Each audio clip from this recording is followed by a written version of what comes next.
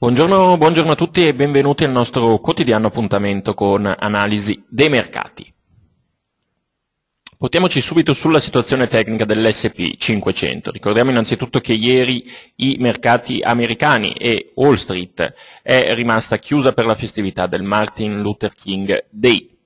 Ovviamente l'S&P 500 essendo un future in contrattazione continua ha continuato a scambiare durante tutta la seduta europea e poi anche successivamente durante la seduta asiatica.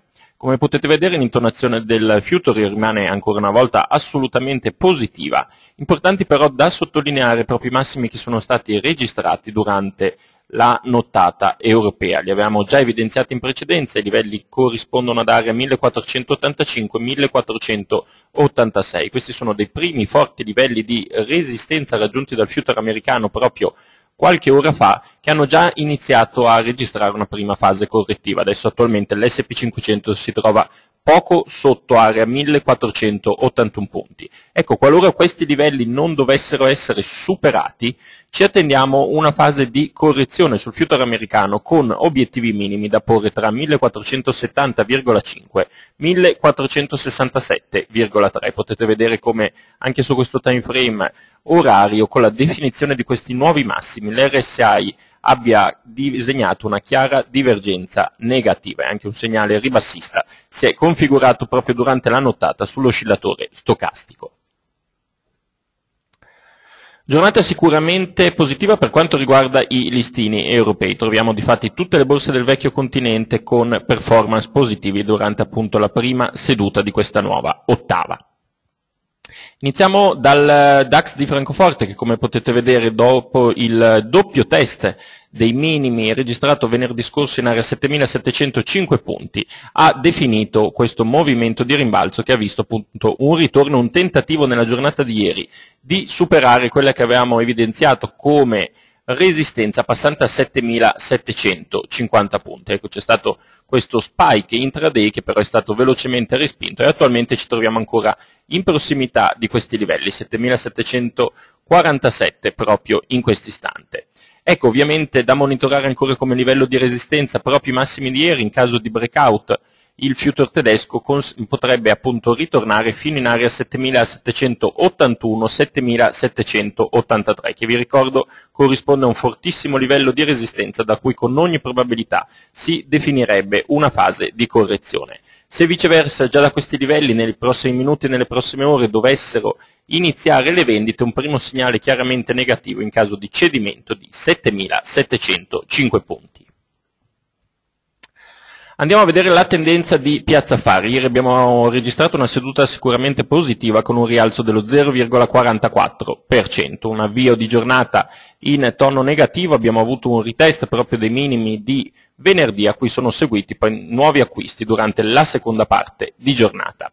Chiusura appunto in positivo, vedete qualche istante fa il nostro future aperto praticamente sui medesimi livelli della giornata di ieri, in area 17.640 punti.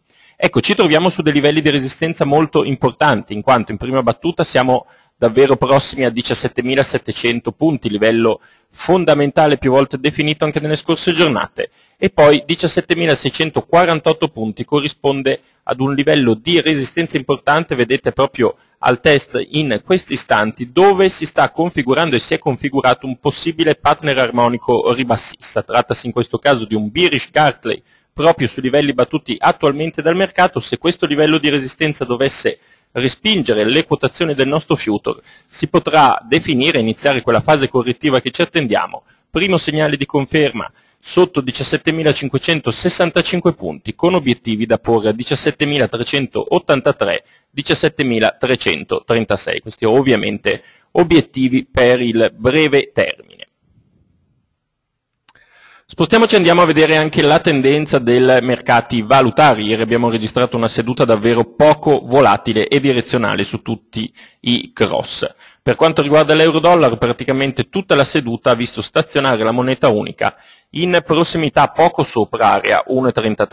L'euro ha ritrovato poi una brillantezza, un tentativo appunto di uptrend ancora attualmente in corso che ha generato questi massimi a 1.33 e 60, 1.33 e 70, livelli attualmente battuti dal mercato. Ecco, per quanto riguarda anche le prossime ore, un segnale positivo si avrebbe solamente in caso di superamento di 1,33,90. Con relative conferme questo genererebbe un nuovo segnale rialzista con possibilità di definire appunto nuovi massimi di periodo con target che poniamo a 1,34,85. Se viceversa questo segnale non dovesse andare a configurarsi, possiamo vedere come su time frame orario il cross valutario si sia portato in area di ipercomprato, ecco, potranno ritornare le vendite con i relativi retest dei minimi precedenti ed eventualmente anche un approdo fino ad area 1,32. Leggermente più volatile è stato ieri il cable, che ha proseguito nella sua tendenza ribassista eh, molto molto chiara ormai da qualche seduta, abbiamo avuto la definizione di nuovi minimi di periodo, livelli che non si registravano dallo scorso agosto, con vedete i minimi registrati a 1,58 e 0,4. Successivamente nelle ultime ore di contrattazione della seduta di ieri un piccolo tentativo di eh, rimbalzo tecnico che ha portato a definire su questo time frame giornaliero uno spinning top, quindi un partner ehm, candlestick di indecisione proprio su questi minimi. Ecco, attenzione perché eh, non è da escludere che si possa configurare una fase di accumulazione nelle prossime giornate con un possibile ritorno quantomeno fino in area 1,59 e 86. View confermata per quanto riguarda dollaro americano contro franco svizzero a seguito del doppio test della area di resistenza posta tra 0,9375 e 0,9390 è iniziata questa fase correttiva ancora attualmente in corso, 0,9312 in questo istante ci attendiamo una discesa fino a 0,9262 e successivamente fino a 0,9198, target finale del movimento ribassista, segnale che verrebbe negato ovviamente solo in caso di superamento dei recenti massimi di periodo.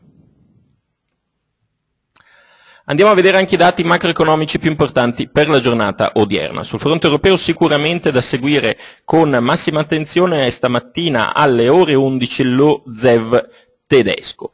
Ehm, dati rivisti in salita 12,2 punti. Da segnalare inoltre anche, proprio qualche istante fa, in questi minuti, inizieranno i lavori dell'Ecofin, da seguire poi anche in serata alle ore 19 un intervento da parte del Presidente della BCE, Mario Draghi.